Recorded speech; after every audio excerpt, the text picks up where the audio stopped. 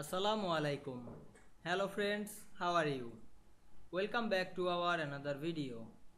In this video, I am going to show you how to insert long division symbol in Microsoft Word 2016. Let's get started.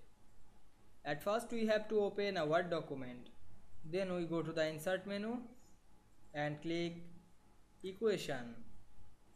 Then choose a division symbol then select the division symbol and go back the home menu then increase the font size long now we can see here we insert long division symbol in this document very easily i hope you enjoyed the video please like comment share and subscribe my channel thanks for watching